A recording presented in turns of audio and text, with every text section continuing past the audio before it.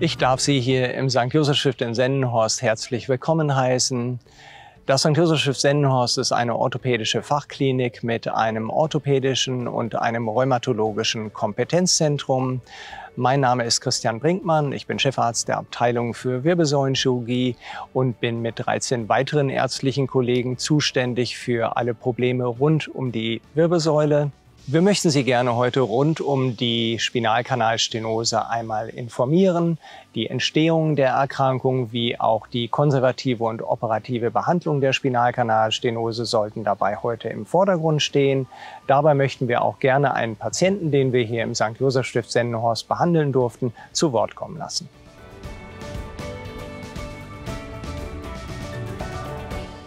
Um die Ursachen einer Spinalkanalstenose besser verstehen zu können, ist es wichtig, sich einmal kurz mit der Anatomie der Wirbelsäule auseinanderzusetzen. Ich habe auf meiner linken Seite ein Modell, welches Sie von hinten sehen können. Wir sehen im oberen Abschnitt von hinten die Halswirbelsäule, die Brustwirbelsäule sowie die Lendenwirbelsäule mit dem Becken unten als Abschluss der Wirbelsäule. Und es gibt verschiedene Elemente, die wir gleich sehen werden, die zu einer Spinalkanalstenose führen können. Zusammenfassend kann man also feststellen, dass eine Spinalkanalstenose verursacht wird durch im Wesentlichen einen Verschleiß der kleinen Wirbelbogengelenke, wie erwähnt auf der Rückseite der Wirbelsäule und ebenfalls durch Verschiebungen oder Veränderungen und Verschleiß von Bandscheibengewebe.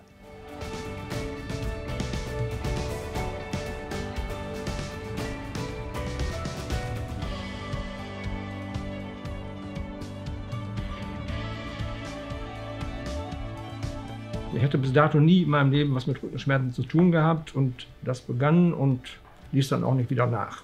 Im Alltag war ich also durch die Schmerzen schon sehr stark gehandicapt. Äh, wir haben einen Hund, mit dem wir eigentlich immer lange Spaziergänge machen. Die konnte ich dann nicht mehr, nicht mehr machen. Ich konnte maximal noch 200, 300 Meter gehen und dann nahmen die Schmerzen zu. Und wenn ich dann stehen blieb, waren sie also ganz exorbitant, die Schmerzen. Ich mir, meine Mobilität habe ich mir dann so ein bisschen aufrechterhalten durch Fahrradfahren. Das konnte ich immer merkwürdigerweise fast schmerzlos. Und äh, ich bin also seit Jahren eigentlich ein begeisterter Golfer. Das fiel also auch völlig unter den Tisch. Und ich habe einfach gesagt, so kann das nicht weitergehen. Also dann kann ich mich aber lebendig begraben lassen. Die häufigste Ursache der Spinalkanalstenose ist die Arthrose der kleinen Wirbelbogengelenke. Das sind diese gelenkigen Verbindungen auf beiden Seiten, die uns das Bücken und Bewegen ermöglichen. Und im Laufe des äh, Lebens durch Verschleiß und Bewegung kommt es zu einer Arthrose der Gelenke, das heißt zu Knochenanbauten. Zum Teil wachsen diese nach außen in die Muskulatur. Da führt es zu keinen Problemen und zum Teil wächst von dem Gelenk Knochen in den Spinalkanal. Der Spinalkanal ist der Raum, in dem die Rückenmarkstrukturen und Nervenstrukturen verlaufen, von der Halswirbelsäule bis zur Lendenwirbelsäule. Ich habe hier den Stift dort einmal eingefügt, damit man sehen kann, wo die Nervenstrukturen laufen. Das heißt, das Schwarze dort sichtbare, das soll die Nervenstruktur, die Nervenbahn darstellen und durch Knochen kann es natürlich dann verständlicherweise zu Druck auf diese Strukturen kommen. Ich möchte Ihnen noch einmal das Modell von der Gegenseite zeigen, damit Sie noch mal in den Spinalkanal hineinschauen können. Von hier, von dieser Öffnung durch die Lendenwirbelsäule laufen die Nervenstrukturen, bis sie sich dann im unteren Bereich des Becken aufzweigen und dann entsprechend die Beine versorgen. Das, äh, was am häufigsten von Patienten berichtet wird, ist, dass die Gehstrecke, die Gehfähigkeit erheblich eingeschränkt ist. Durch den Druck auf Nervenstrukturen und Rückenmarkschlauch kommt es dazu, dass Patienten meistens nur eine kurze Strecke, die mehr oder weniger lang sein kann, zurücklegen können, sich dann erst einmal bequem hinsetzen müssen, damit sie sich ausruhen können, um dann wieder ein Stück weiter zu gehen. Das Fahrradfahren hingegen ist deutlich besser besser möglich, da Patienten im Normalfall tendieren, sich etwas nach vorne zu beugen und dadurch der Spinalkanal sich öffnet an dieser Stelle. Neben Schmerzen an Hals- und Lendenwirbelsäule können natürlich auch Lähmungserscheinungen eine Rolle spielen. Wenn der Druck mehr oder weniger zunimmt, durch Bandscheibengewebe und durch Knochengewebe im Rahmen von Arthrose dann zusätzlich gewachsen, kommt es dazu, dass die Nervenfunktion sozusagen vermindert, sich entfalten kann und dann entsprechend Lähmungen auftreten.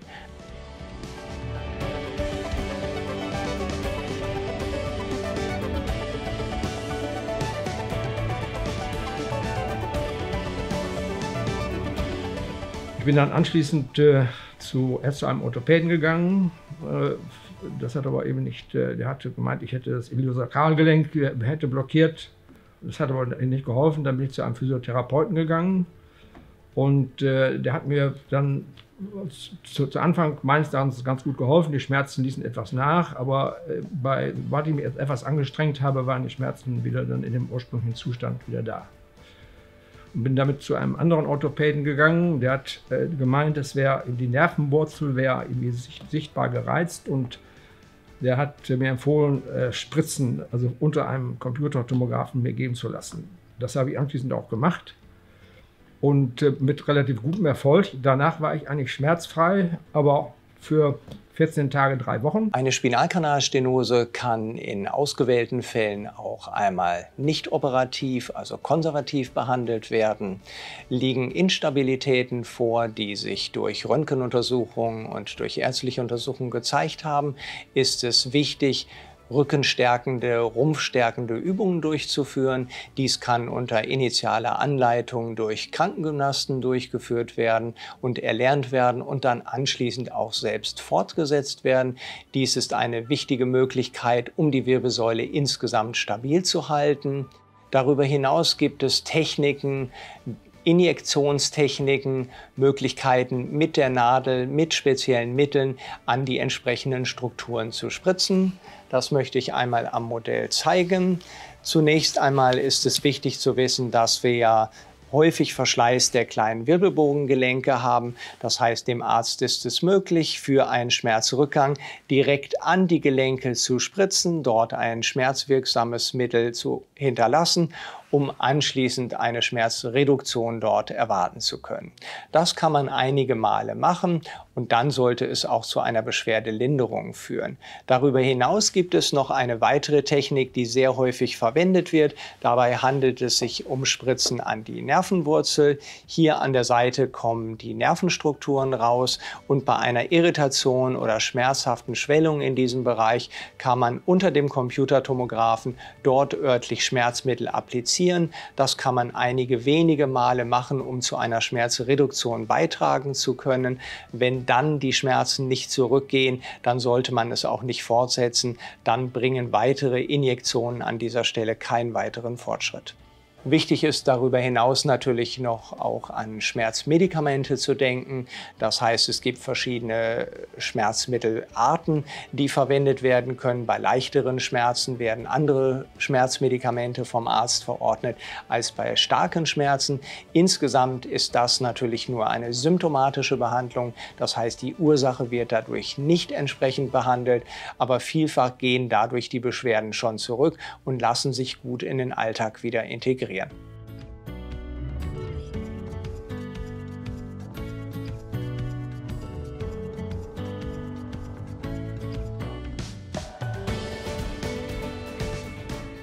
Dann habe ich wieder etwas mich im Garten betätigt und die Schmerzen begannen äh, schlimmer noch als vorher.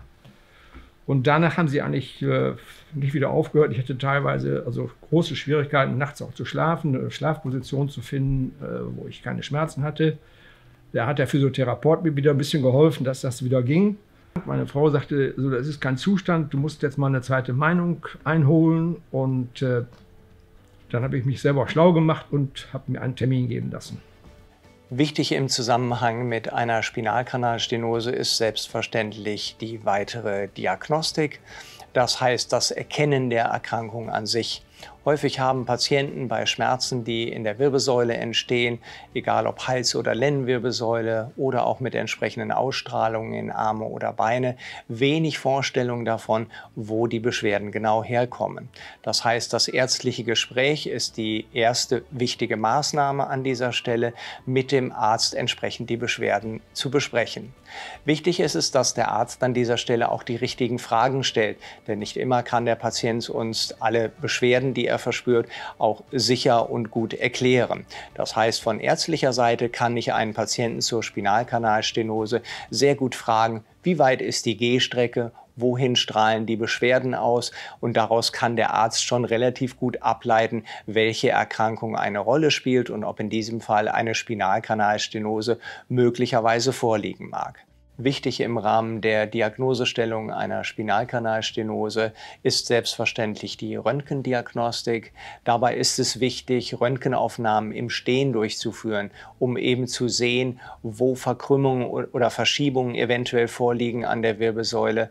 Daraus lassen sich Rückschlüsse gewinnen, in welcher Zone wichtige Instabilitäten möglicherweise vorliegen. In der Liegendaufnahme in der Kernspintomographie ist das leider nicht abzubilden und nicht nicht zu erfassen.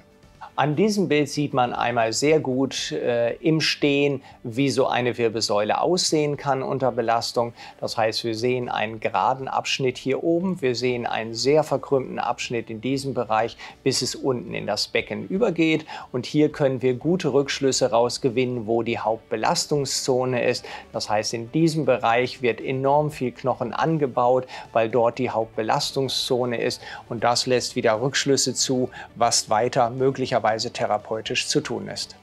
Die Basisdiagnostik einer Spinalkanalstenose besteht selbstverständlich aus einer Kernspintomographie, auch MRT genannt.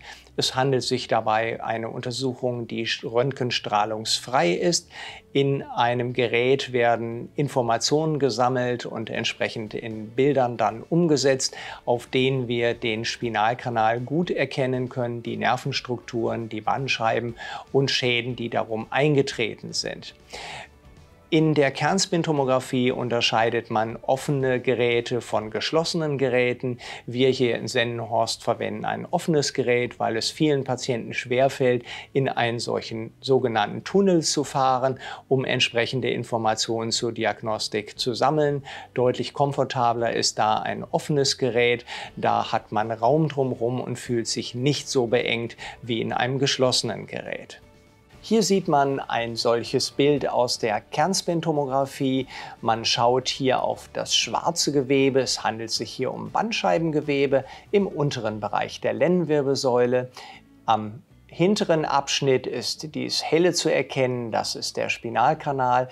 Und das, was hier so schwarz zungenförmig herausgetreten ist, das ist ein sehr großer Bandscheibenvorfall. Neben der Kernspintomographie kommt heutzutage weiterhin noch eine Technik, eine sogenannte Computertomographie zum Einsatz. Dabei handelt es sich um eine röntgenbasierte Technik im Gegensatz zur Kernspintomographie, die ja röntgenstrahlenfrei ist. Bei dieser Technik werden wesentlichen Informationen gesammelt, die sich auf den Knochen beziehen. Und darüber hinaus ist es eine wichtige Technik, die wir verwenden bei Patienten, die einen Herzschrittmacher tragen. Herzschrittmacherpatienten können leider nicht in einem Kernspin untersucht werden. Ähm, das ist technisch bedingt. Insofern kommen hier andere Techniken in Frage und damit eine Computertomographie. Damit kann man, auch wenn man sie kombiniert mit einer sogenannten Myolographie, die ich gleich noch erklären möchte, dann entsprechend genauso viel Informationen sammeln wie durch eine Kernspintomographie. Auf diesem Bild sieht man die Bildinformationen einer Computertomographie. Man sieht die einzelnen Wirbelkörper sehr schön abgebildet und im hinteren Abschnitt sieht man nach einer Kontrastmitteluntersuchung das eingebrachte Kontrastmittel. Hier sieht man mal eine Bandscheibenvorwölbung. So kann man vorgehen, wenn Patienten eine Kernspintomographie nicht durchführen lassen können, sondern eine Computertomographie mit Myelographie erforderlich ist. Eine Myelographie ist eine Kontrastmitteluntersuchung des Rückenmarkes, bei denen wir uns die Nervenstrukturen und den Rückenmarkschlauch durch Einspritzung von Kontrastmittel sichtbar machen. Beim liegenden Patienten wird unter Röntgendurchleuchtung Kontrastmittel eingespritzt und anschließend werden Röntgenaufnahmen im Stehen gemacht. Das ist der besondere Vorteil einer Myelographie, dass wir uns bei speziellen Fragestellungen mit dieser Technik sichtbar machen können, wann Spinalkanalstenose Diagnosen im Stehen vielleicht relevant sichtbar werden. Und zusätzlich ist es eine Technik, die wir verwenden können, wie eben schon erwähnt, bei Patienten, die einen Schrittmacher haben, bei denen eine Kernspintomographie nicht möglich ist.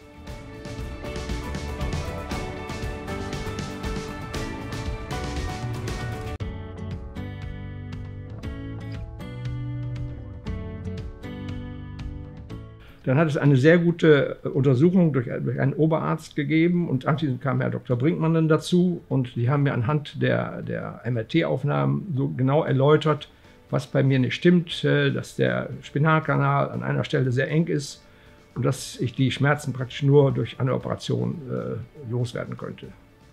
Und dann ich Herrn Dr. Brinkmann ganz bewusst darauf angesprochen, ob es sollte mich bitte über die Risiken aufklären. Eine Operation wäre so in Nervennähe und da möchte ich gerne kein äh, Risiko eingeben. Und dann hat der Dr. Brinkmann mir sehr überzeugend so dargelegt, äh, dass eigentlich so eine Operation heute Standard ist, dass sie häufig gemacht wird, dass äh, man das unter Mikroskop macht und dass, ich, dass eigentlich keine Gefahr da ist, dass Nerven beschädigt werden können. Und dann war ich eigentlich sehr überzeugt davon und hatte mir noch einen Tag Bedenkzeit erbeten und dann habe ich mich dafür entschlossen.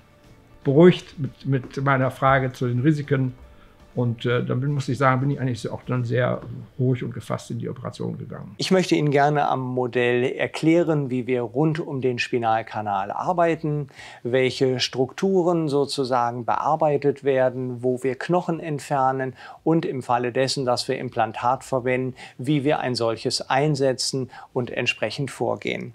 Zunächst möchte ich noch einmal zeigen, was wir hier sehen. Wir sehen eine Lendenwirbelsäule von hinten. Das sind die häufig tastbaren Dornfortsätze am Rücken. Hier befinden sich auf der einen und auf der anderen Seite die Wirbelbogengelenke. Und hier im inneren Bereich liegen die Nervenstrukturen eingebettet in den Rückenmarkschlauch. Wenn wir nun operativ eine Erweiterung des Spinalkanales durchführen wollen, dann müssen wir am Beispiel dieses Gelenkes hingehen und von dem Knochen im oberen und im unteren Bereich Anteile entfernen und natürlich die Einwüchse, die von hier in den Spinalkanal eingewachsen sind. Ich würde Ihnen jetzt einmal zeigen, wie wir den Knochen entfernen. Mit diesem Instrument können wir ganz präzise im Bereich der Lendenwirbelsäule Knochen entfernen. Das heißt, so wird der Knochen rausgenommen, wird dann entsprechend aus dem Körper rausgenommen.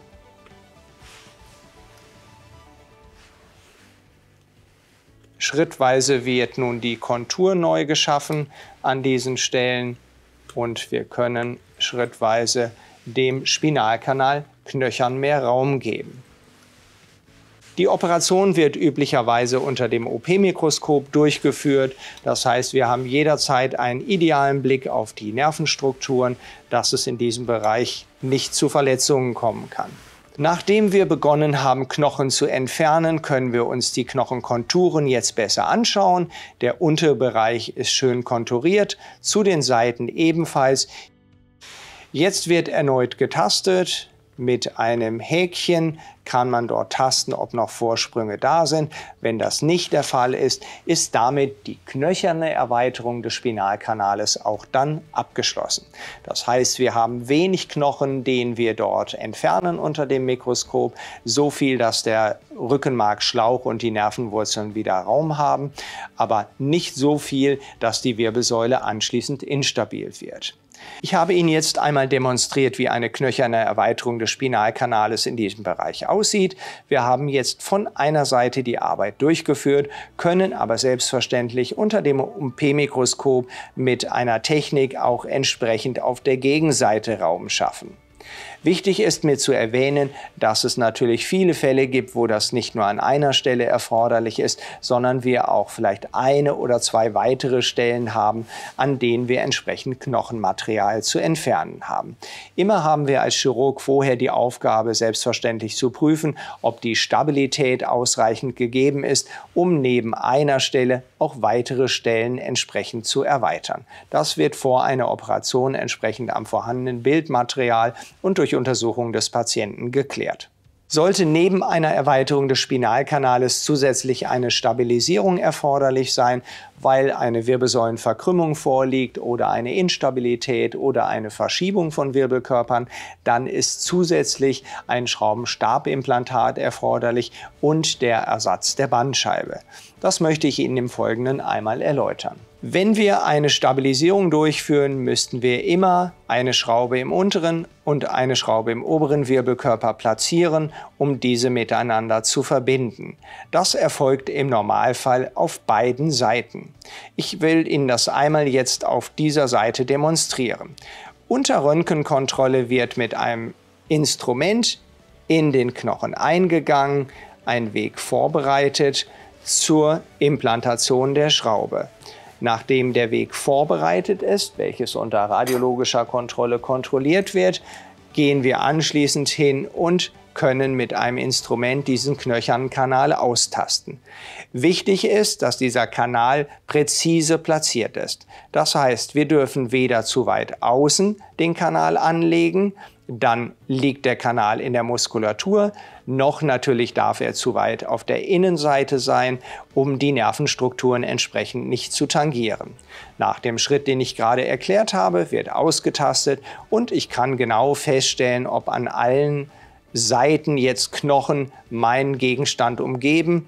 Wenn dem so ist, ist der Weg ausreichend sicher vorbereitet zur Implantation der Schraube. Nun sieht man hier die Schraube, die nun im Knochen zu verankern ist. Die Schraube werde ich jetzt einmal mit einem Setzinstrument einbringen. Das heißt, in dem vorbereiteten Weg wird nun die Schraube schrittweise selbstschneidend verankert. Sie sehen, dass es relativ gut hält. Genau. Die Knochenqualität ist hier, da es ein Modell ist, ausgezeichnet gut. Und wenn die ausreichende Tiefe erreicht ist, wird das Instrument abgekoppelt und die Schraube verbleibt im Knochen. Für eine Stabilisierung in einem Segment sind wie eben erwähnt jeweils zwei Schrauben rechts und zwei Schrauben links erforderlich. Hiermit wird jetzt die zweite Schraube platziert im oberen Wirbelkörper. Schrittweise wird diese nun in die Tiefe eingebracht, um dann anschließend eine gute Stabilität zu erzielen. Und das Setzinstrument wird wieder entfernt und die Schraube verbleibt im Knochen. Um die Schrauben nun miteinander zu verbinden, bedarf es eines Stabes. Das heißt, durch einen Stab werden die Schrauben miteinander fixiert. Die beiden Schrauben werden nun mittels Stab verbunden. Der Stab wird entsprechend den anatomischen Bedürfnissen eingepasst, ist entsprechend vor mir bereits vorgebogen und nun wird der Stab durch diese beiden kleinen Schrauben fixiert. Zunächst mit einer Schraube und dann anschließend mit der zweiten Schraube. Die Schraube wird wieder so eingebracht, dass das Ganze dann Halt findet. Die Stabfasszange wird entfernt und so sieht nun die Verbindung zwischen zwei Schrauben aus. Wichtig ist jetzt diese Schrauben-Stabverbindung dauerhaft zu sichern und das geschieht, indem man mit einem definierten Drehmoment diese Schraube, die sich im Inneren befindet, zu sichern es ist ein Knack zu verhören und damit ist das ausreichend gesichert. Das geschieht mit der zweiten Schraube ebenfalls. Bevor wir die zweite Schraube sichern, geben wir der gesamten Wirbelsäule die entsprechende Form. Das heißt, wir haben als Chirurg jetzt die Möglichkeit, die Form der Wirbelsäule zu gestalten. Das heißt, mit einer solchen Zange können wir den Abstand entsprechend erweitern, wenn es erforderlich ist. Wir können aber auch hingehen, was häufiger der Fall ist, und dann entsprechend die Schrauben näher aneinander bringen, um dann entsprechend die Form der Wirbelsäule zu korrigieren. Um dieses Ergebnis zu sichern und zu halten, wird nun auch die zweite Schraube fixiert und dann wieder definitiv mit dem entsprechenden Instrumentarium und mittels Drehmoment fixiert. Das Instrument wird wieder aufgesetzt und anschließend wieder gesichert. Die Schrauben-Stab-Verbindung müssten Sie sich jetzt auf beiden Seiten vorstellen. Wir haben jetzt auf beiden Seiten eine feste Verbindung.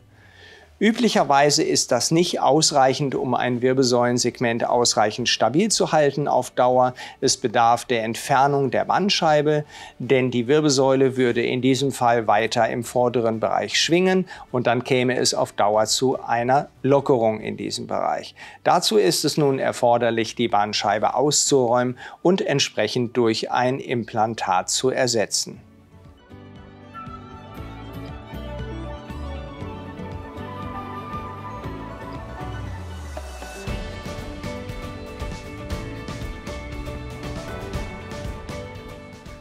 Nach der Operation war das Aufwachen war für mich äh, ohne jegliche Probleme, was sie als sehr angenehm empfunden hat, kam erst der, äh, der Anästhesiearzt, hat sofort mir gesagt, es wäre alles gut gegangen, ich könnte ganz ruhig sein. Und äh, auch ein wenig später kam auch Herr Dr. Brinkmann noch und hatte mir gesagt, es ist alles gut gelaufen. Ich möchte neurologisch hätte ich nichts zu befürchten und das war für mich sehr beruhigend. Und ich bin dann ja aufs Zimmer gekommen und an dem gleichen Abend konnte ich mich in dem Zimmer schon wieder mit so einem, mit so einem Hochrollator äh, ganz gut durchs Zimmer bewegen und äh, ich habe auch anschließend, gut, man hat natürlich unter, unter äh, Medikamenten gestanden, aber ich habe in der ganzen Zeit, also bis zu dem Tag, wo die Medikamente abgesetzt wurden, keinerlei Schmerzen empfunden. Sollte eine Operation unumgänglich gewesen sein und diese durchgeführt sein, wird bei uns im St. Josef Stift in Sennenhorst täglich nach einer Operation Physiotherapie durchgeführt. Das heißt, eine Physiotherapeutin oder ein Physiotherapeut kommt zu Ihnen oder kommt zum Patienten, wird entsprechend die Mobilität verbessern und entsprechend anleiten, eigene Übungen auch durchzuführen. Dazu haben wir einen Ratgeber, der bebildert ist und dem Patienten auch später zu Hause erklärt, wie man diese Übungen, die hier erlernt werden, dann auch fortsetzen kann. Darüber hinaus ist es natürlich wichtig, dass nach einer Operation in den ersten Tagen die Pflege unterstützend zur Seite steht, um wieder gut aus dem Bett zu kommen, um wieder gut auf die Beine zu kommen und mobil zu werden.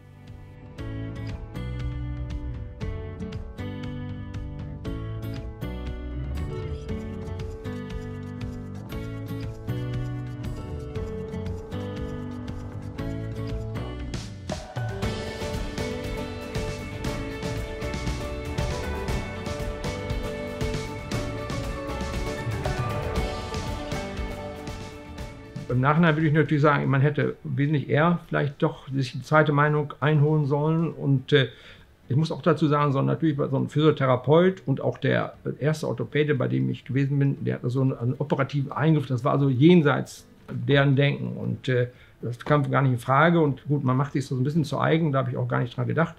Aber im Nachhinein muss ich sagen, also ich, das hätte ich wesentlich eher machen sollen. Ich hoffe, wir konnten Sie rund um das Thema der Spinalkanalstenose heute gut informieren und möchte mich aus Sennenhorst für heute von Ihnen verabschieden.